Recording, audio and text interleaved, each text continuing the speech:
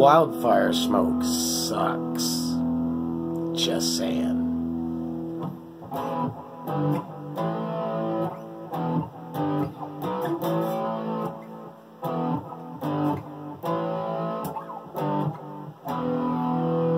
Wildfire smoke. You suck.